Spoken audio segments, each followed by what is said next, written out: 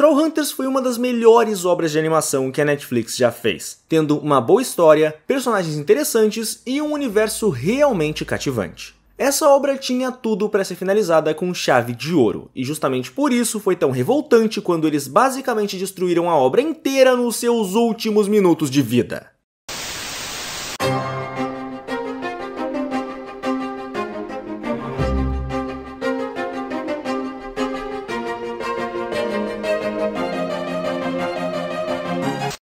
Para quem não conhece ou só não lembra, Trollhunters conta a história de Jim Lake Jr., um adolescente que, junto do seu melhor amigo, Bob Donzowski, encontrou o amuleto do caçador de trolls e foi escolhido para ser o próximo caçador de trolls.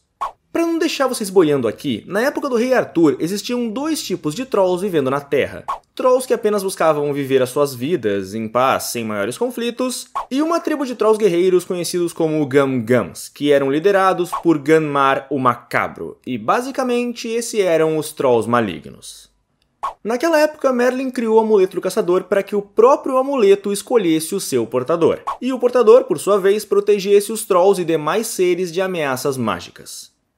Deia foi a primeira caçadora de Trolls. Ela, por sua vez, enfrentou Ganmar na batalha que ficaria conhecida como a Batalha de Olha à Morte. E no fim, não conseguindo matar o seu inimigo, ela utilizou o amuleto e a ponte Olha à Morte para selar Ganmar e seu exército nas Terras Sombrias. Mas ainda assim, restariam seguidores de Ganmar que buscariam libertá-lo com o passar dos anos, dentre eles o seu próprio filho, Bular. Para libertar o Ganmar seriam necessárias duas coisas: a primeira, a ponte olha a morte completa, que após a batalha foi destruída e teve suas partes espalhadas pelo mundo para que assim Gamar nunca retornasse.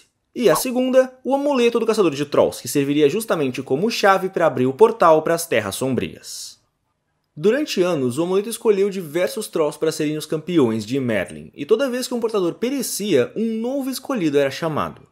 Quando a série começa, vemos como Jim se torna o primeiro humano a ser escolhido pelo amuleto, e acompanhamos as aventuras dele e treinamento ao lado de Bob e outros personagens, sendo eles tanto humanos quanto trolls. A série teve ao todo três temporadas, tendo começado em dezembro de 2016 e terminado em maio de 2018. E depois dela, tivemos mais duas obras que compartilhavam não só o mesmo universo, como também o mesmo subtítulo: Contos de Arcádia. A segunda obra se chamava Tree Below, ou Três Lá Embaixo, e por sua vez ela tinha aliens como foco, tendo sua primeira temporada se passando ao mesmo tempo que a terceira de Trollhunters, e logo após a sua segunda e última temporada. A terceira obra ficaria conhecida como Magos Contos de Arcádia, que se passava depois das obras anteriores e teve apenas uma temporada.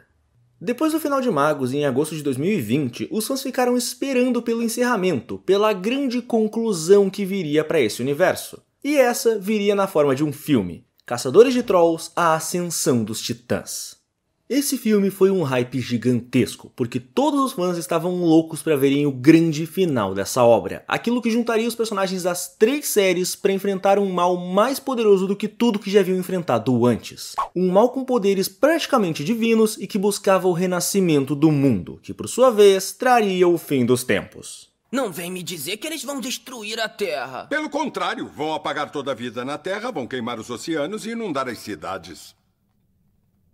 Isso é destruir a Terra! Para não ficarem completamente perdidos quanto ao contexto do filme, aqui vão alguns spoilers necessários. A Clara, o interesse amoroso do Jim no início de Trollhunters e atualmente a sua namorada, é a maga do grupo principal composto por Jim, Bob e, obviamente, Clara. E no decorrer da série Magos, fomos apresentados à Ordem Arcana, aqueles que seriam os vilões do filme e que no decorrer da série Magos destruíram o amuleto do caçador de trolls, deixando assim o Jim sem poderes.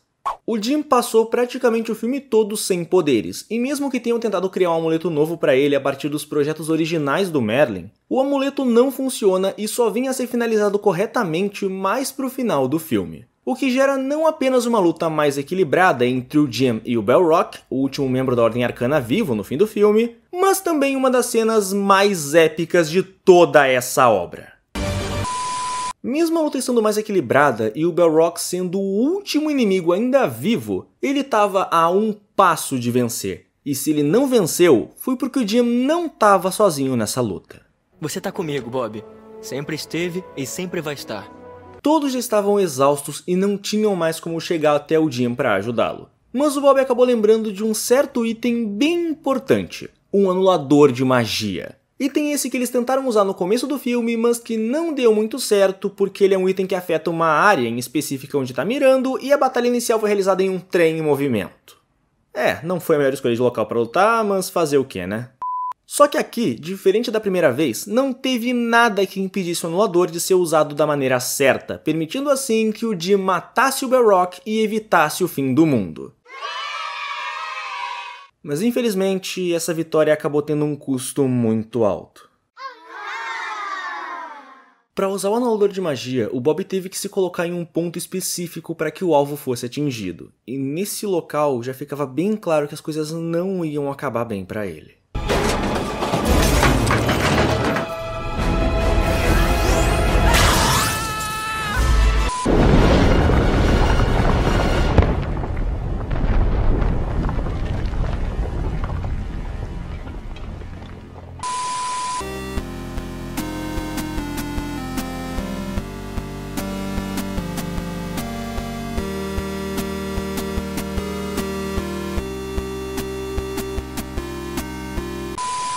Depois da vitória, o Bob morre ao lado do Jim, uma morte impactante para um senhor caramba e que com certeza fez muita gente chorar.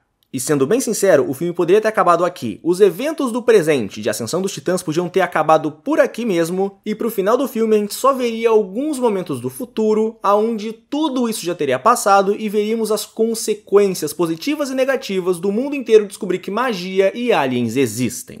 Mas é claro que não foi assim que aconteceu, porque o final que o filme nos entregou não foi apenas ruim ou medíocre, não, não, antes fosse. Esse final foi um completo desrespeito a tudo que a obra fez e a todos os fãs que se dedicaram anos acompanhando esse universo.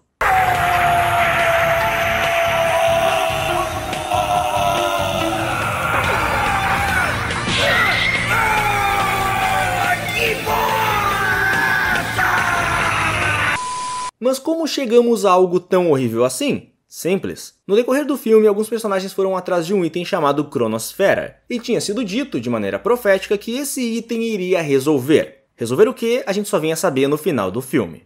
Agora, pega esse nome, pega o fato de que temos um desastre completo e que sobraram mais ou menos uns 15 minutos para o filme acabar. O que vocês acham que esse item poderia fazer para resolver? Pepino do mar!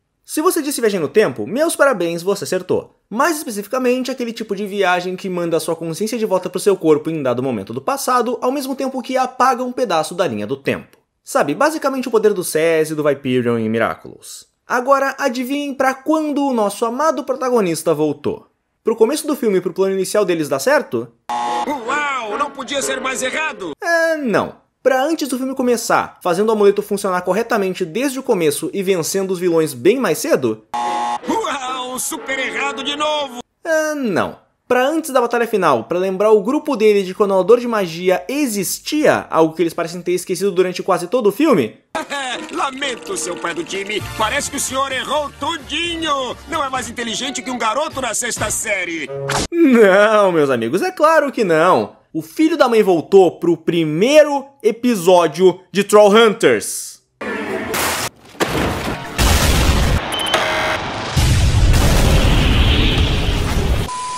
Não, meus caros espectadores, vocês não entenderam errado. Ele voltou pro início do primeiro episódio, da primeira temporada, da primeira obra desse universo inteiro. E sendo bem sincero, eu poderia ficar bravo pelo fato de agora ele saber tudo o que pode acontecer e onde encontrar os artefatos chaves para vencer o vilão final da sua obra. Ou eu poderia estourar de raiva pelo fato de a série ter tido um episódio inteiro dedicado a mostrar que se o Jim não pegasse o amuleto ia dar muito ruim, e ainda assim no fim do filme ele deixa o Bob pegar o amuleto, o que não faz sentido e já parece um belo desastre prestes a acontecer. E dane-se que o Jim saiba tudo o que pode vir a acontecer, a partir do momento que ele voltou, algumas coisas já podem acontecer de maneira diferente.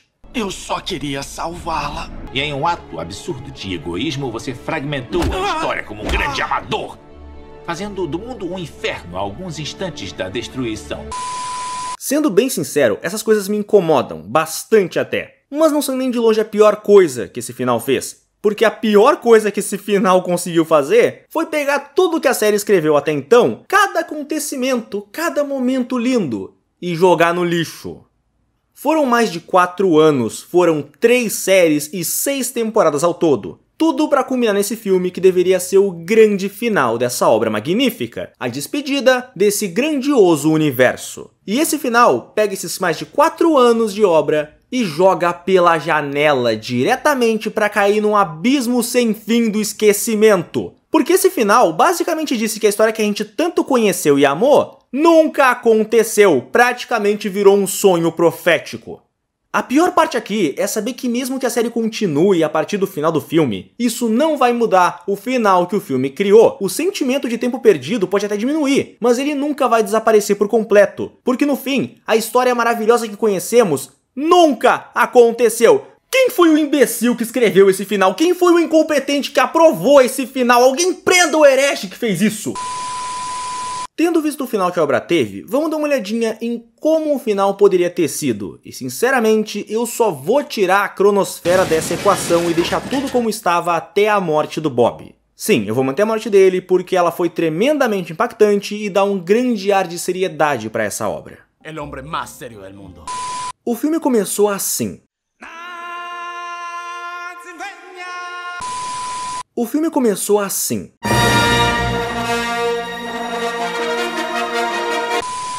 O filme começou assim. Acomodem-se, pois agora vou contar a história das histórias. A aventura final, o conto definitivo.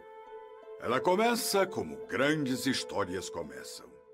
Então, no momento em que o Bob morreu, veríamos um momento de raiva e tristeza causada pela morte dele, e então a cena escureceria e cortaria para a cidade de Arcádia uns 15 ou 20 anos no futuro.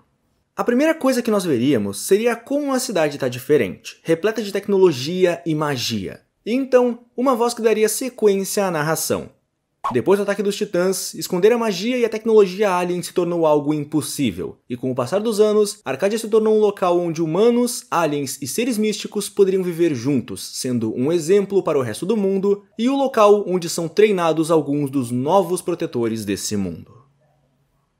Ao fim da narração, seríamos levados até uma estátua no centro do parque da cidade, e nela estariam esculpidos Strickler, Nomura, Ari e Bob. Então, veríamos que o Blink estava contando essa história para algumas crianças, e junto deles, duas um pouco mais velhas, os filhos do Jim e da Clara, uma menina chamada Luna e um menino chamado Bob, em homenagem ao melhor amigo do pai.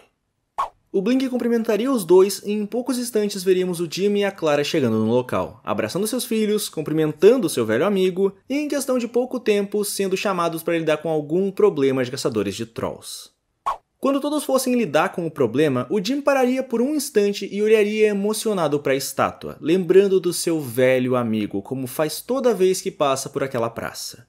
Então, assim que o Jim saísse da praça, saísse de cena, teríamos um close na placa na base da estátua, que diria: Em honra àqueles que se sacrificaram na Batalha dos Titãs, heróis do mundo, eternos caçadores de trolls.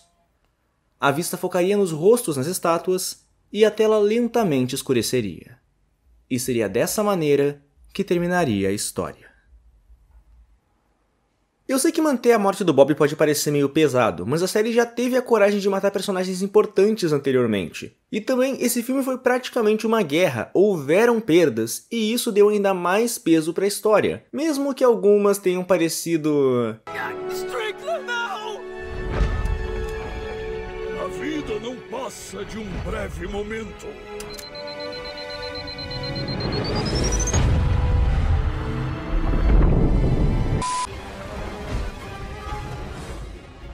Desnecessárias.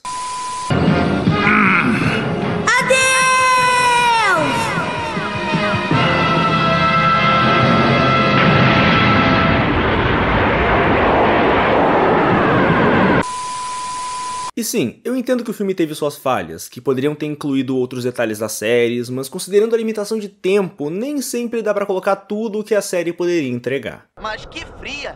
O filme tem diversos erros e isso eu não posso negar. Mas sendo bem sincero, eu poderia relevar a grande maioria deles. Eu posso relevar o Jim não ter testado o amuleto antes de irem atrás dos vilões. Eu posso ignorar que a morte do Strickler pareceu forçada e meio desnecessária. Mas o final não. O final não dá pra tancar. Até porque ele destruiu tudo o que a série construiu. Intancável! Acho que de longe o pior erro depois do final foi todos terem esquecido que o anulador de magia existia até o último minuto do filme. Sério, não teve desculpa para isso. Era só colocar uma cena na qual ele fosse danificado e pronto. Mas não fizeram isso e com isso todos os protagonistas pareciam estar sofrendo de amnésia seletiva. Sério, no final, o Jim poderia ter voltado pro exato momento em que ganhou o novo amuleto e lembrado o pessoal de que o anulador existia e dito para levarem ele. Teria sido broxante pra caramba? Sim, teria sido, porque eles venceriam ali mesmo, mas ainda teria sido melhor do que ver ele apagando quase 5 anos de história. Bom pessoal, por hoje é isso. Eu sei que esse vídeo pode tirar vontade de assistir a série, mas ela ainda vale muito a pena ser assistida. Você pode começar e terminar Trollhunters e parar por ali mesmo, o final da série original já é maravilhoso por si só. Na verdade, você pode ver as três séries sem nenhum problema, é só ignorar o filme, e se quiser ver o filme é só ignorar esse final horroroso que ele teve. Mas enfim, por hoje é isso mesmo. Espero que tenham gostado do vídeo, deixe bem nos comentários e bora debater. Eu sou o Dust, e até a próxima aventura.